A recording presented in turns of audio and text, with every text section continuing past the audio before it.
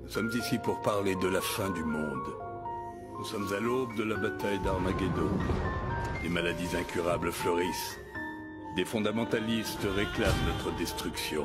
Des puissances nucléaires échappent à notre contrôle. Et même si nous naviguons dans ces eaux dangereuses, nous devons affronter des menaces bien pires encore. Le réchauffement climatique fera fondre les calottes glaciaires en moins de 80 ans, noyant ainsi 90% des lieux habitables sur Terre. La population ne cesse d'augmenter et nous aurons atteint le taux de surpopulation dans 50 ans, conduisant le monde à la famine et à la guerre. Ce ne sont pas des conjectures, ce sont des faits. D'une manière ou d'une autre, notre monde touche à sa fin. La question est, allons-nous mourir avec lui? Qu'est-ce que vous proposez? Je propose de mettre fin à ce monde.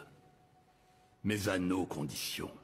Une sorte d'apocalypse orchestrée, qui serait censée nettoyer la Terre de sa population mais laisser ses infrastructures et ses ressources intactes. Cela a été fait il y a fort longtemps, avec succès. Quelques élus échapperont au déluge.